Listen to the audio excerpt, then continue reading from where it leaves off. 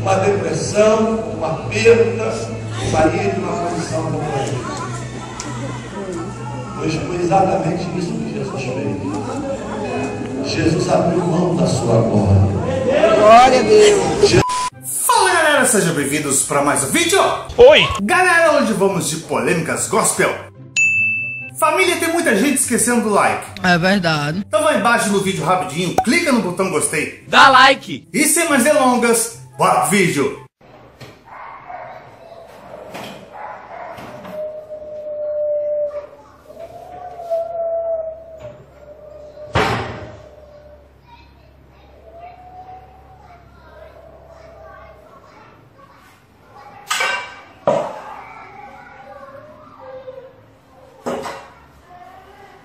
Igreja Universal incentiva o roubo de hóstias para depois queimá-las.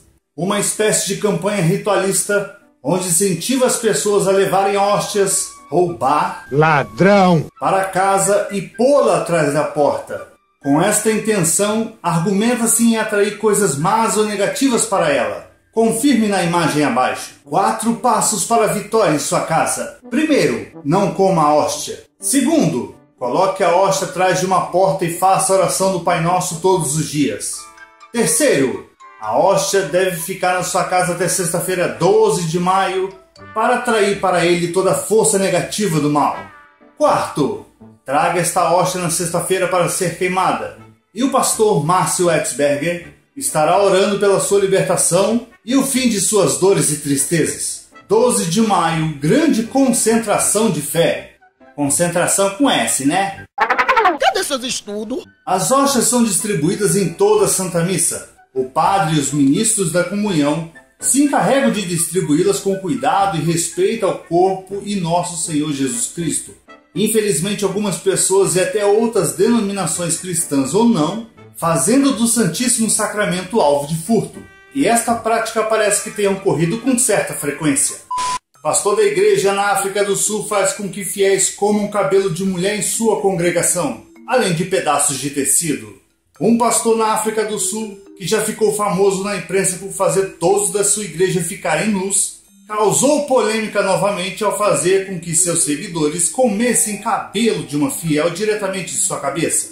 Fotos postadas nas redes sociais mostram o pastor Penuel Miguni colocando as mãos sobre a mulher. Outros membros da congregação são vistos segurando o cabelo dela e, na verdade, tentando comê-lo. As legendas das imagens dizem: Pastor segurou a cabeça da mulher de Deus Tapelo, de Mabopani, e seu cabelo se transformou em comida para os filhos e filhas de Deus.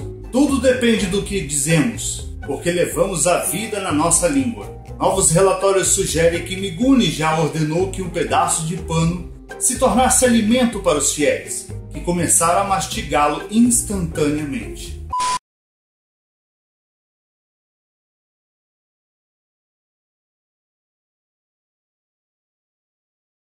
A ver isso aqui? Aqui, a gente tem que escrever o valor que entra por dia, como a senhora pode ver. Aqui tem 6 horas, não das 6. Se entrou metical, tem que escrever metical. Se entrou em dólar, tem que escrever o valor em dólar que entrou.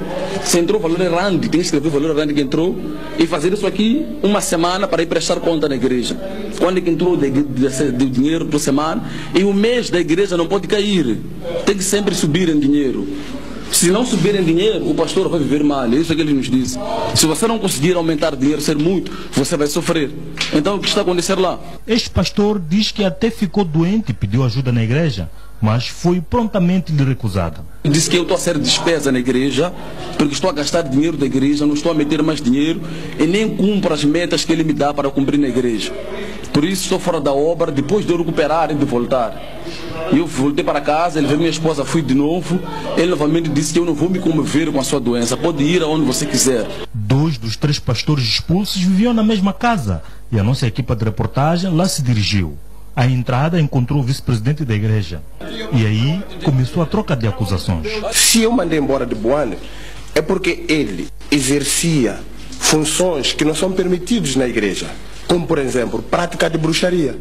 Ia para a casa das pessoas, matava eh, cabritos, espegia o sangue. Isso é proibido na igreja, é literalmente proibido.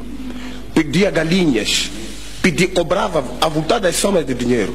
Quando veio o meu conhecimento, eu mandei embora. Está a esquivar o quê? Não foi você que foi chamar a imprensa? Aquele. Aquele ali é um ladrão. Mas como é que o pastor isso? Porque alguém deu para ele dinheiro de 30 mil meticais não trouxe nos cofres da igreja. Cadê o dinheiro? Praticamente a igreja, ela está funcionando como fosse negócio. A igreja está funcionando como fosse negócio. Eu fui dado uma meta de 200 mil dólares. Quando eu não cumpri a meta, estou fora da obra. Quem te deu com 200 mil dólares? Em Boane. Quem te deu meta de Fiquei com ele 200? em Boane. Você quem te deu meta de que 200 o pastor dólares? promete outro Quem te deu meta de 200 dólares? Quem me deu? Seu ladrão, Bispo Leonardo. Isso aqui é um gatuno. Ah, é? Isto aqui é um gatuno. Isto. É um ladrão. E o dever de uma empresa, porque aquilo é uma empresa. É uma empresa. Você, trabalha- você assinou um contrato de empresa. Os ânimos exaltaram-se de tal maneira que esqueceram que eram homens de Deus e partiram para ameaças. Eu aqui posso te bater. se Bate, bate, tá aqui. Eu posso bater de Deus. É homem de Deus. O homem de Deus, quero bater os Homem de pastores. Deus quer bater pastor. Usam da igreja para arrecadar dinheiro do povo, para roubar o povo. Os pastores prometem agora abandonar a igreja porque, segundo eles, funciona como uma empresa.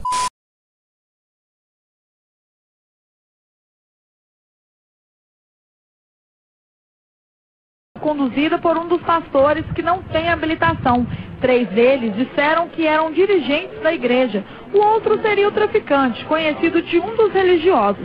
A prisão foi durante uma ronda policial às duas horas da madrugada no bairro Caladinho, periferia da cidade. resolveram adquirir substância de um conhecido de um deles e aqui em, em Coronel Fabriciano. Foi é, oferecido e vendido as 10 pedras de cocaína.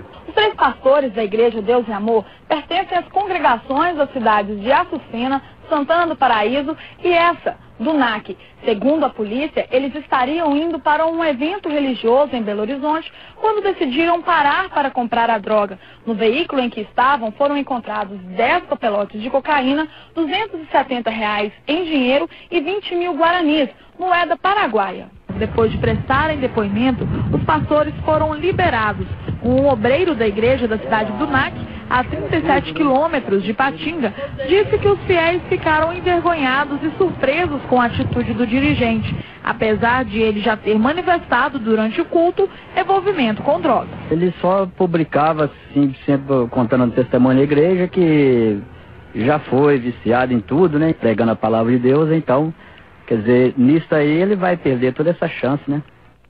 Os pastores foram indiciados por uso de drogas, mas vão responder em liberdade. Uma emissora de TV fez uma reportagem sobre o tipo de unção. Cai, cai. Ele coloca a mão na coluna do nosso produtor. De novo, nada acontece. O homem agora o abraça.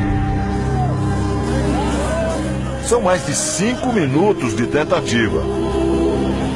Ao nosso lado, mais uma pessoa desaba.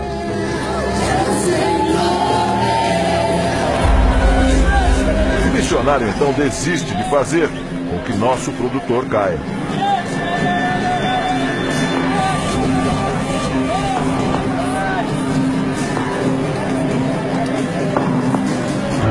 Clemilda também costumava cair na igreja. E ele realmente colocou a mão na minha cabeça e ali eu caí. Ali eu apaguei, fiquei no chão por alguns minutos. Eu conseguia escutar as coisas, mas eu não conseguia me mover, não conseguia me movimentar. Mas a comerciante, mãe de duas filhas, não gostou da sensação. Eu não conseguia entender, porque o que eu buscava não era cair, eu buscava o Espírito Santo, eu buscava mudanças e não um cair simplesmente. Porque eu caí, mas nada mudou, eu continuava da mesma forma. Ela buscava conforto depois de uma separação traumática, repleta de brigas com o ex-marido. Participar dos rituais do Kaikai não ajudou a amenizar a dor. Eu não tinha esses dons do Espírito. Então, como que eu podia ter o Espírito Santo se eu não tinha os dons em que a Bíblia fala que você tem que ter? Então, não podia ser o Espírito Santo. Não era o Espírito que eu estava procurando. E isso me ajudou a me libertar. Oito anos depois de abandonar a prática de cair no espírito, Clemilda se emociona quando pensa nos companheiros que ainda seguem o ritual. Você vê pessoas que estão pensando que é e não é, gente. Não é. Então tem que tomar muito cuidado, porque na Bíblia está escrito também que nos finais dos tempos iriam aparecer muitas, muitas profecias, muitos, muitos pastores. E isso acontece. Aconteceu comigo e está acontecendo com muitas pessoas que infelizmente pensam que estão com o Espírito Santo e não é o Espírito Santo. They think Toronto's something. To Boston. As orações e os rituais do Kaikai. Era um dos principais nomes da igreja. Mas o que levou este homem a abandonar o que ele tanto acreditava? Foi durante um culto que Paul percebeu que existia algo errado naquilo tudo. Ele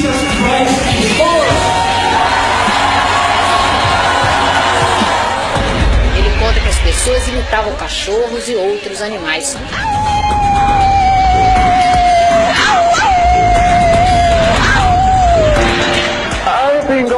Comportavam-se como bêbados And the stage I'm at at the moment is slouching. Today I believe that spirit is a false spirit, a counterfeit spirit, and not the Holy Spirit of Scripture. Paul diz que também estava sob transe quando veio um pensamento. Aquilo era errado. Instantly, my heart was convicted, and instantly I asked the Lord Jesus to forgive me for being so silly, for being ridiculous. Foi naquele exato momento que ele decidiu se desligar da igreja. Escreveu essa carta em que afirma: o diabo usa o cair no espírito para cegar as pessoas. E completa: o movimento viola as sagradas escrituras. Eu diria que isso nunca foi uma manifestação genuína da presença de Deus, mas algo sinistro desde o começo, porque o fruto da bênção de Toronto é podre. Toronto blessing has been negative. Ele não entende por que demorou tanto tempo para abrir os olhos e perceber que tudo aquilo era algo ofensivo ao Espírito Santo. Quando caiu doente, Paul mergulhou fundo nos estudos sobre a Bíblia. Quanto mais conhecia a palavra de Deus, mais percebia o quanto havia se enganado. The Holy Spirit, by his very name, is holy. He will not encourage people to do anything unholy. People, mankind, are made in the image of God. Why would God debase humanity by making them get on like animals?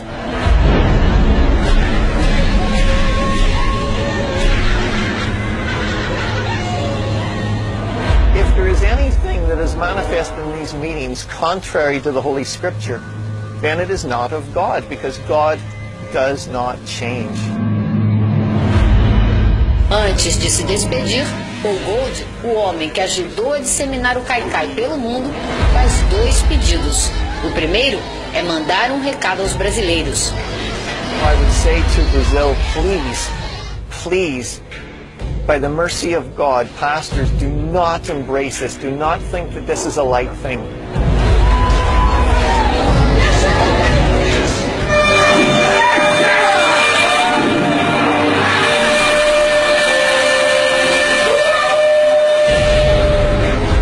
That this is not of God, that it is a scheme of the devil, and that it will bring utter destruction to the men and the women and the children who embrace it. O segundo desejo, deixar a esperança como mensagem final da nossa conversa. Paul Gold diz que o ser humano precisa ter fé, precisa de Deus e que o Espírito Santo está sempre ao alcance de todos. I can honestly say that my faith in Jesus Christ has never been stronger, that my confidence in the scripture has never been stronger. Maurício Santos mandou essa notícia. Muito obrigado, meu querido. Muito obrigado. Igreja Mundial promove encontro de pastoras. Macabro.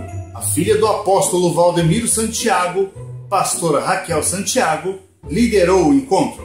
A Igreja Mundial do Poder de Deus promoveu um encontro de pastoras e obreiras sob o comando da pastora Raquel Santiago, filha do apóstolo Valdemiro Santiago. O encontro aconteceu no Resort Mavisa, localizado em Cesário Lange, a 90 minutos de São Paulo. sob o pretexto de consagração pelo Congresso de Mulheres que aconteceu na igreja no fim de março.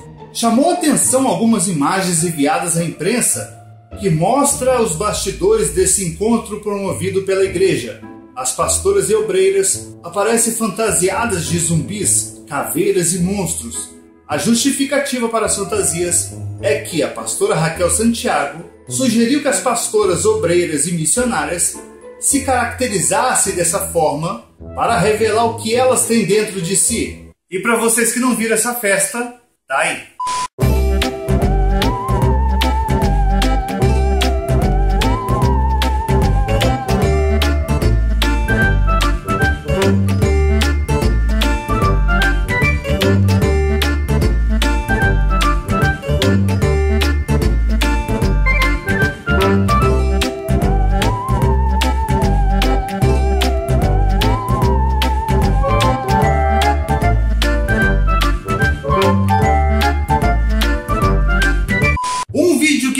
Nas redes sociais mostra a proprietária de um imóvel que foi alugado pela Igreja Mundial sendo agredida. Pelo amor. E depois aparece ela na delegacia fazendo BO.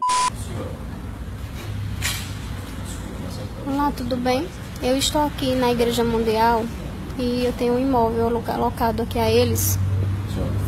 E acabei de ser maltratada pelo Bispo Paulo e o segurança agora quer impedir que eu grave. Bom, estou aguardando o pagamento. Tá ao vivo no Facebook. Então, vamos ver, né? O que, é que vai acontecer. Já bateu a porta na minha cara, já gritou comigo. Tá no Facebook. Olha, você não pode fazer. Certo. Tá ao vivo no Facebook.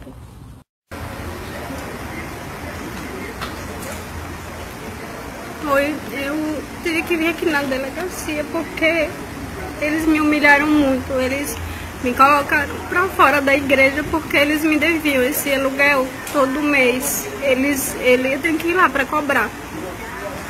E aí eles, todos os meses eu passo por humilhação.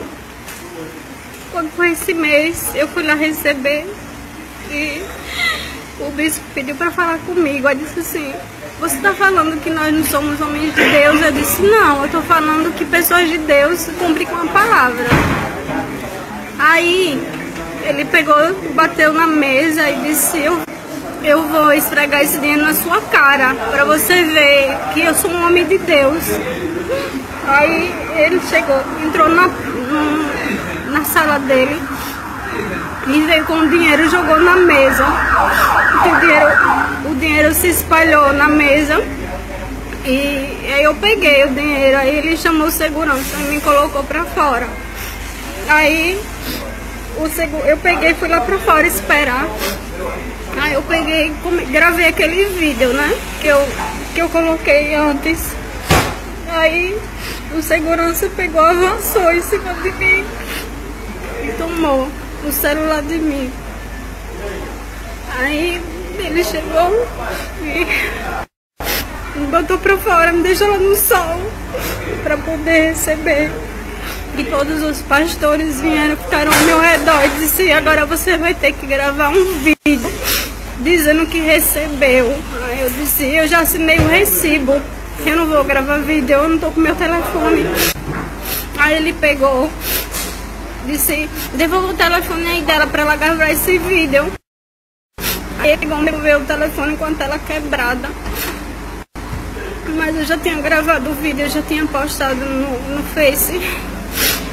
Eu vim aqui na delegacia, eu tô muito nervosa. Bom, galera, esse é o vídeo de hoje. Espero que vocês tenham gostado. Família, ajuda o canal a crescer, mete o dedão no like. Dá like! O canal Defoca está com uma campanha no Apoia-se. Então, se você curte o canal e quer colaborar, acesse o link na descrição. Até o próximo vídeo. Fique com Deus. Fui!